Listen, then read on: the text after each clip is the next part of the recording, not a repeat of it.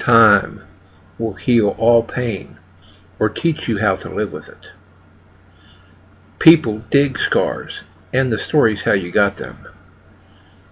Glory is always yours and can make you immortal.